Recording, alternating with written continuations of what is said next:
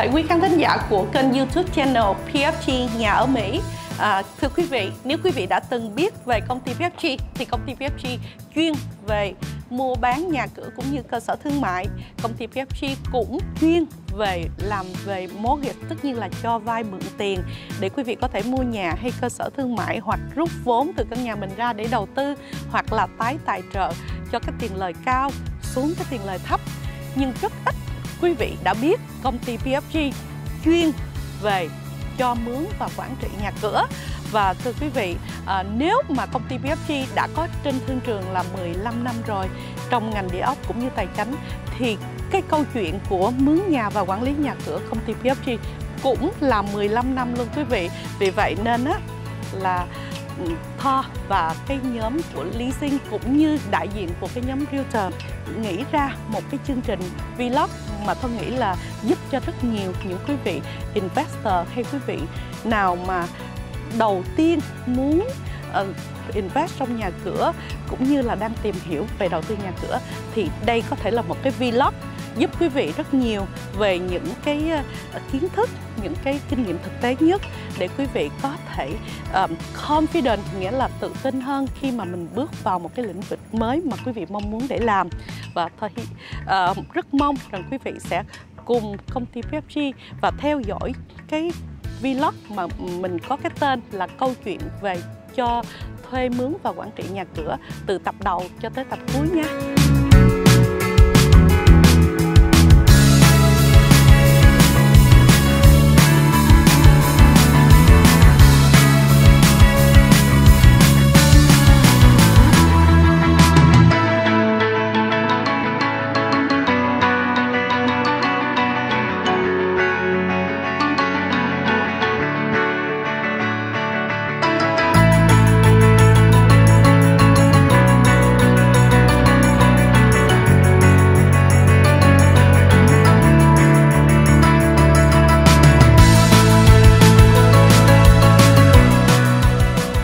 Thơ xin kính chào quý vị, xin chào đón quý vị trở lại với kênh YouTube channel của công ty PFG nhà ở Mỹ và thưa quý vị, đây là cái tập kế tiếp cho cái vlog về câu chuyện thuê mướn và quản trị nhà cửa và cũng như thường lệ thì trong chương trình sẽ có ba anh em gồm có anh Đức Nguyễn xin mời anh Đức gửi lời chào đến quý vị. Dạ xin chào quý vị. Và bé Trâm Bùi. Chào quý vị.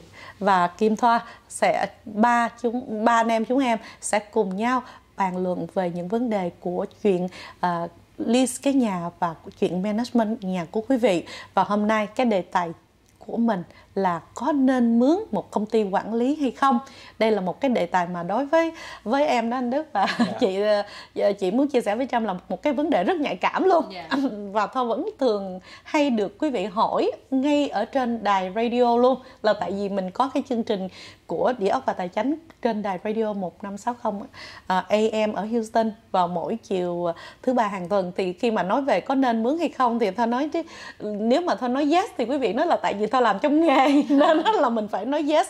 Nhưng nhưng mà cái yes hay no thì tất cả những cái vlog này mình lặp lại những cái câu hỏi mà hay là những cái vấn đề mà quý vị vẫn thường hỏi cho Thoa cũng như cho tất cả những uh, anh em làm trong công ty PFG thì cái đề tài này là một đề tài vừa nhạy cảm vừa nóng hỏi và cái câu yes hay no thì tụi em vẫn không trả lời chỉ là phân tích để quý vị tự mình xem là thích hợp cho mình hay không thôi. Thì bây giờ trở lại, nói về là có nên mướn hay là không mướn thì bây giờ nhìn về phía bé Trâm, thưa quý vị, giống như biết, quý vị vẫn thường biết bé Trâm là chuyên về ờ, là một người real estate agent, đã làm việc với công ty PFG trên 6 năm rồi. Và bé bé Trâm thì quay rất nhiều nhà cửa và đại diện rất nhiều những quý vị buyer cũng như là investor. Đặc biệt là công ty PFG làm việc với nhiều investor lắm quý vị, vì chúng em có cả leasing and management của công ty. Vì vậy nên đó là tất cả các chị em realtor làm ở bên nhà mới, nhà cũ mà mua thì mình đưa thẳng về cái management company của mình để mà giúp quý vị cho mướn ra cũng như quản lý. Thì khi mà em làm việc với những người investor thì khi em đi thì mấy anh chị investor đối với họ họ có hoang mang hay là quan tâm là có cần management company hay không? Chị chắc chắn với em là em sẽ bị cái câu hỏi đó yeah, phải không yeah. nè thì dĩ nhiên là mình có rồi thì em cảm thấy là confident để có thể work với những cái quý vị investor của mình. Và thậm chí nếu investor của mình có những câu hỏi mà đặc biệt hơn về leasing and management là bé Trâm ung dung gửi về nhóm leasing and management liền. Và những cái kinh nghiệm qua lại giữa người realtor và người management ở trong office thì coi như là tụi em có những cái meeting hàng tuần nên rất mặc dù bé trong không làm nhưng mà very much thì cũng hiểu thì bây giờ ngoại trừ cái câu đó dĩ nhiên là cái câu chính rồi nhưng ngoại trừ cái câu đó thì em có những câu hỏi nào mà em nghĩ cũng quan trọng từ vâng. cái cái người investor của mình hay không? Dạ có chị. À, thưa quý vị với uh, chú và chị á, thì là sau khi họ hỏi cái uh, cái công việc là uh, có mình có làm hay không thì sẽ hỏi tới là công ty management họ mình sẽ làm những gì cho họ ừ. thì việc đầu tiên là lúc nào là cái vấn đề à, gặp mặt meeting ừ. giữa người tenant và cái người chủ nhà nhưng mà khi có công ty property management á thì họ có cần phải gặp trực tiếp hay không ừ. rồi cái thứ hai là ví dụ như mỗi tháng trả tiền thì ừ. ai sẽ là người thâu tiền và cái người chủ nhà họ nhận tiền như thế nào ừ. dạ rồi tới đó họ nhận tiền xong rồi sẽ tới ví dụ như nhà mà hư ừ. cần những sửa chữa gì bất chợt trong ngày hay là after hour thì công ty management mình có làm sau after hour không rồi um, và cuối cùng là có những lúc trường hợp mà không may mắn ừ. cái người tenant họ mất việc đi họ có emergency vấn đề gia đình gì đó họ không có afford nổi để trả tiền nhà thì bước kế tới công ty management người đại diện của landlord sẽ làm gì cho họ để okay. bảo vệ người landlord Dạ. Yeah. Thì uh, tất cả những câu hỏi của ừ, quý vị đang quan tâm, những quý vị mà investor đang quan tâm, đó là tất cả những điều mà công ty management thật sự làm việc và cái vai trò của management company là phải làm tất tần tật những cái câu hỏi mà à, uh, bé Trâm vừa nêu ra thưa quý vị và thưa quý vị uh, nếu mà những cái lo âu đó quý vị đang lo âu ngay từ lúc đầu mà nếu có ai đó take care những cái nỗi lo âu đó thì dĩ nhiên quý vị sẽ thấy tầm quan trọng như thế nào nè đúng không nè? Thì để trước khi mà để cho à, anh Đức có thể trả lời từng câu hỏi mà thật ra những câu hỏi của Trump thì gần như là anh Đức và nhóm uh, management của công ty là mình làm mỗi ngày và à, làm mỗi ngày mỗi tuần và mỗi tháng và mỗi năm thưa quý vị. Nên á, là khi mà hỏi vào những cái câu đó thì tôi nghĩ không có làm khó cho bên leasing and management lắm đâu và cái câu trả lời là đầu tiên thì em chỉ muốn trả lời sơ sơ là cái việc mà quý vị investor hay hỏi ngay cả ngày em làm cũng vậy quý vị muốn cái management company đại diện cho quý vị đầu tiên là vì quý vị không muốn người tenant biết quý vị yeah. Dạ. đúng không nè cái yeah. Dạ. quan trọng nhất là vậy thì em hay nói giỡn là quý vị không muốn người tenant biết mình giàu. Nên á là là cái câu mà em hay nói dẫn vậy thôi chứ còn landlord đôi khi mỗi người một việc khi mà phải đối đầu chung với cái người tenant thì họ sợ có những cái mà họ không biết cái nào đúng cái nào sai nên làm hay không nên làm. Càng involve nhiều thì càng bị rối rắm nhiều hơn. Thì bây giờ đó là cái câu trả lời chung chung mà ờ, dựa theo những cái câu hỏi mà Trâm đã từng gặp khi mà gặp tất cả những quý vị investor thì bây giờ trở lại tới anh Đức yeah. Dạ. là bây giờ dĩ nhiên là mình sẽ đứng ra thay mặt cho những quý vị investor đúng không anh? Dạ vâng. Dạ và yeah. Dạ. anh không cần quý vị investor phải đứng ra những quý vị investor landlord không phải đứng để gặp tenant đúng dạ, không nè?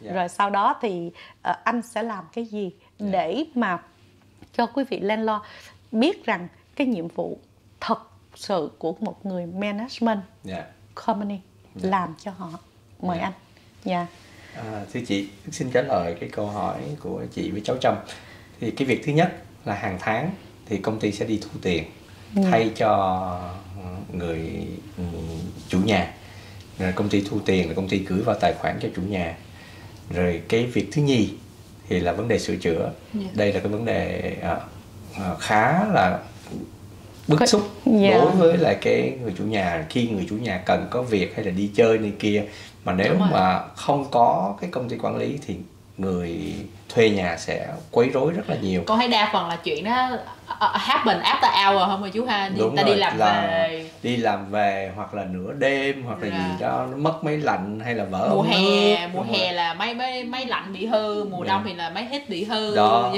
thì á, cái đó nó rất là phiền và Dạ, người ta đi làm về người ta rất là mệt thì bên công ty phải lo chuyện đó. Dạ. thì khi công công ty luôn luôn có người trực có người điện thoại. Sau khi nhận điện thoại của cái người thuê nhà báo đó thì luôn luôn là công ty hỏi cho kỹ Dạ. để hiểu được cái nguyên nhân. Có khi nguyên nhân là do cái người thuê sử dụng làm Đúng hư rồi. hay là do hao mòn hay là do thời tiết. Khi xác định được cái nguyên nhân rồi và biết được rồi thì lúc đó sẽ gọi báo cho chủ nhà để xin ý kiến chủ nhà.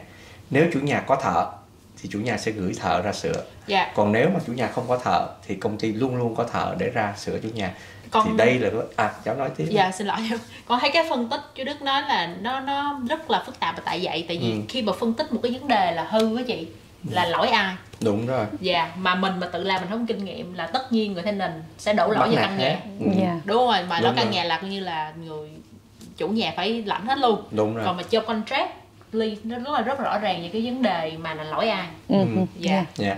thì do cái kinh nghiệm của mình khi họ tả là một chuyện khi họ chụp hình cho mình Đúng. họ nói là mình biết ngay là là là do lỗi sử dụng hay là lỗi kia Ừ. thì lúc đó mình khi mình trình bày với chủ nhà mình cũng sẽ nói cái lý do đó thì chủ nhà sẽ là người quyết đúng định rồi thành ra cái vấn đề thứ hai là vấn đề mà chủ nhà nhiều người chủ nhà sửa được nhà thành ra thấy không là vấn đề nhưng mà sau này đó qua Đúng thực rồi. tế đó rất nhiều người chủ nhà hồi trước nhờ công ty quản lý sau đó thấy dễ quá cái mới lấy lại nhà. Bây giờ năm người chủ mà cho tới giờ này năm người chủ nhà đều quay lại nhờ công ty quản lý hết. Dạ. và cái vướng đều là vướng như vậy hết. Đúng Dạ. và vướng vì sửa chữa vướng vì không xác định được là lỗi của ai. Dạ. Rồi thành ra là chủ nhà chịu hết. Dạ đúng toàn bộ chủ nhà chịu hết rồi con nghe Dạ. nói nhiều lúc có những cái chuyện nhỏ chú Ừ. mà họ nghĩ là nhỏ họ không sửa ừ. tới mà khi mà à, họ cái người tenant ở trong nhà lâu nó là Ừ. cái cái vấn đề nó phát sinh to hơn thì Ừ. em nghe nói ví dụ như là môn đúng rồi màu đúng. đưu màu đưu là mấy cái rong rêu Rong đông rêu đó. môn, dạ ừ. nó ảnh hưởng sức khỏe ừ.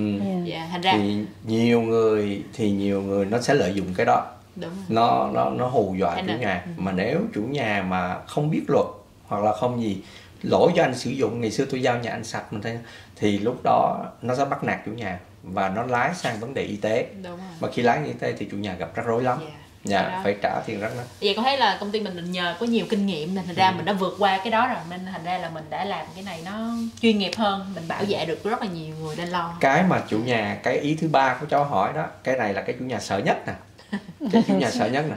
Đó là khi mà người thuê không trả tiền người thuê vì vấn đề gì đó trục trặc bỏ cái thuê giữa chừng thì phải xử lý như thế nào? Dạ. À, nếu với công ty thì công ty sẽ là người phải đưa ra tòa. Thì đưa ra ra tòa đó thì là thường là những công ty quản lý mới biết được thời điểm nào đưa ra tòa và đưa ra như thế nào dạ. để cho có lợi nhất. Chứ Đúng không rồi. phải lúc nào cũng phải đưa ra tòa. Dạ. Vì nó đưa ra tòa có khi tệ hơn cho cho người chủ nhà. Dạ. Thì đó là cái Dạ. cái việc mà của bên rất là hay. Dạ. Dạ. À, rất là đồng ý với anh. Thưa quý vị đó là những cái lý do mà khi mà nói về có nên hỏi một cái management company đại diện cho mình hay không thì hy vọng là cái sự phân tích của bé Trâm với anh Đức sẽ cho quý vị một số cái idea. Cũng có thể quý vị nghĩ ô tôi đã từng làm qua tôi giỏi đủ để có thể làm. Đúng là quý vị. Hay là quý vị có thể để management company làm cho mình để mình học hỏi và mình có thể làm. Nhưng mà quý vị biết là công ty cũng 20 năm trong nghề rồi. Nh- nhưng có thể nói là không trường hợp nào giống trường hợp nào. Có thể là nó hơi giống thôi nhưng không trường hợp nào nó giống trường hợp nào. Mỗi người một hoàn cảnh mỗi tenant một hoàn cảnh và mỗi cái vấn đề xảy ra là một hoàn cảnh. Vì vậy nên đó là lý do tại sao anh Đức nói đôi khi mình dắt nhau ra tòa cũng chưa phải là lúc tốt nhất mà mình nên giải quyết như thế nào nữa mới là cái cách tốt nhất cho cho cái hoàn cảnh đó, vào lúc đó nữa. Thưa quý vị, nên á là cái câu nếu mà phải hỏi thôi là có nên mướn management company hay không thì thôi vẫn nói là có. Là tại vì mỗi người là một ngành nghề. Nếu quý vị làm ngành nghề của quý vị giỏi thì những người chuyên về management company họ dĩ nhiên họ phải giỏi hơn là quý vị chưa từng làm cái đó mỗi ngày. Họ làm tới cả trăm cái nhà, họ làm, họ điêu tới cả bao nhiêu ngàn người tenant đã đi qua trong cái lúc mà họ làm việc. Và khi mà cái management company đã đại diện quý vị rồi, thì quý vị có cảm giác là cái gánh nặng của mình mình quăng hết vào cái management company. Vì cái management company là những người có những người trực điện thoại giống như anh, anh Đức vừa chia sẻ là gần như 24 trên 24 rồi. Thì khi quý vị đi quý vị biết ai đó lo cho mình thì mình an tâm hơn. Đúng còn rồi. khi mà mình đã nói là ô tôi muốn làm invest uh, investor tôi muốn có retirement mà mỗi ngày mình cứ đi lên cruise mà mình cứ canh điện thoại coi nhà mình có hư hay không hay tô hút đến coi nhà mình có bị cái gì hay không. Mà giống như Houston của mình gần đây mình có những cái cơn mà lạnh đi dưới xuống không độ và mình phải bắt những cái ống phải mở nước như thế nào là quý vị biết management company chạy vòng vòng trong lúc những cái thời tiết không được nice giống như vậy. Thì nếu quý vị là những quý vị landlord mình nghĩ là mình có xứng đáng để mình cần cái management company hay không thì thôi cũng mong rằng quý vị có thể đồng ý với Thoa hay là quý vị có thể quyết định cho mình nên chọn hay không. Và cuối cùng thì Thoa anh Đức cũng như bé Trâm. Cảm ơn quý vị rất là nhiều đã theo dõi cái video clip uh, nói về có nên cần một management company hay không.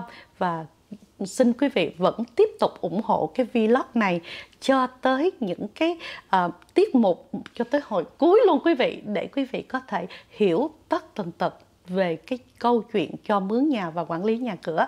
Cảm ơn quý vị rất là nhiều và cảm ơn anh Đức cũng như Trâm một lần nữa đã cố gắng cùng mình để soạn ra những cái chương trình để gửi đến quý vị những cái chương trình thiết thực nhất.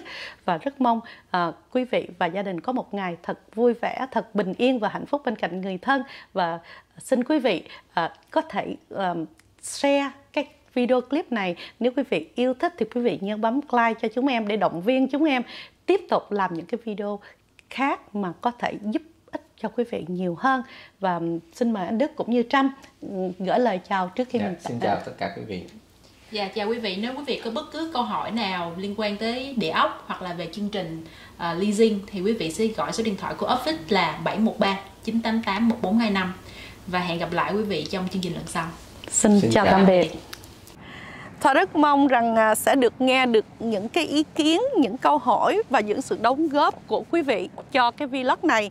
Và nếu quý vị uh, có những câu hỏi mà gấp rút hơn, cần thiết hơn, quý vị có thể gọi trực tiếp vào cho công ty PFG ở số điện thoại là 713 988 1425 và cuối cùng thì thơ mong quý vị nếu yêu thích cái vlog này xin quý vị nhớ bấm nút like subscribe và chia sẻ đến bạn bè cùng xem. À, và thôi kính chào quý vị và hy vọng gặp lại quý vị vào chương trình kỳ tới. Xin thân ái kính chào tạm biệt.